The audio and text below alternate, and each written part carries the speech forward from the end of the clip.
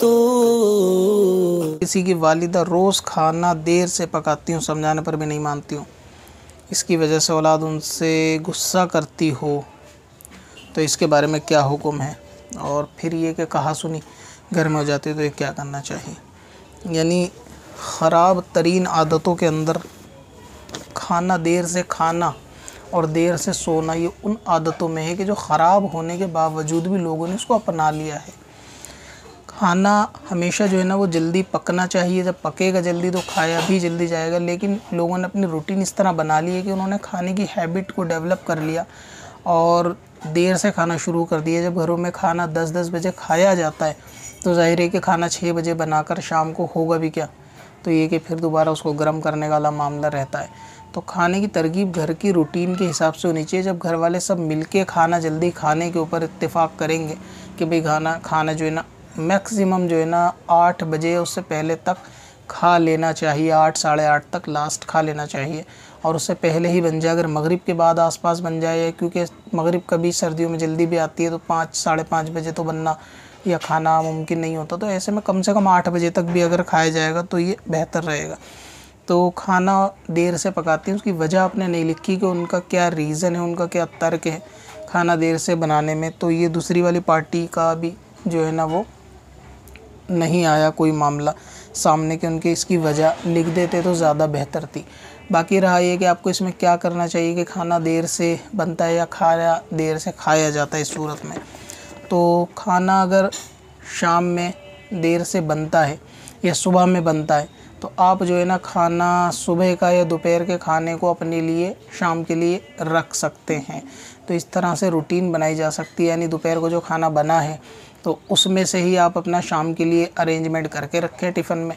खाना, रोटी, सालन बचा के अपने लिए, ताकि शाम को खाना वो देर से बने तो भी आप इसे खा सकें।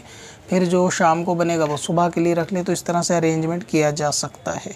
तो खाने को तरकीब कर ली जाए धीरे धीरे, करने के बाद कि भाई खाना जल्दी बनाया जाए, सामान वगैरह हो सकता है उनके पास ना होता हो बनाने का, लेकिन जल्दी ही बनाना चाहिए। खाना देर से बनाने की रूटीन या खाने की रूटीन बहुत ज़्यादा बुरी है आजकल मुसलमानों के अंदर, ये जो राइज हो गया है कि लेट तक खाना खाना या लेट तक सोना, ये दोनों चीज़ों के नुकसान बहुत बाद में जाके पता चलते हैं, बहुत सारी चीज़ों के नुकसान फ़ौर सामने नहीं आते, लेकिन बाद में चल के सामने आ जाते हैं कि देर से सोना या देर से खाने का क्या मामला होना चाहिए।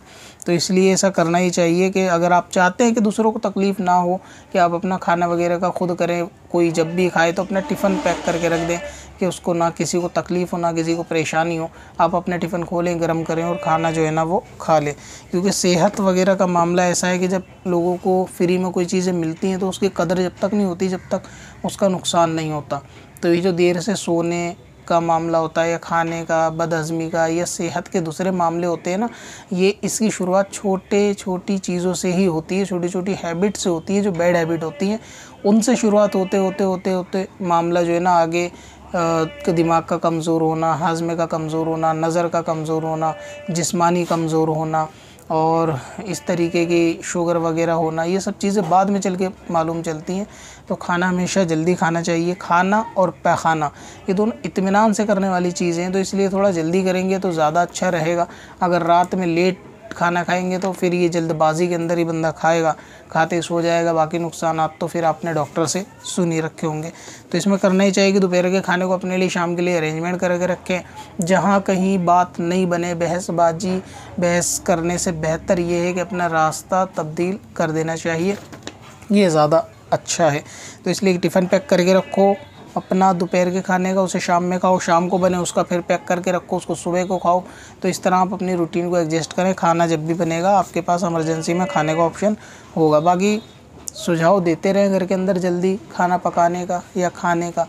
धीरे धीरे इन ताला समझ में बात आ जाए कब से अपनी खताओं का शुमारा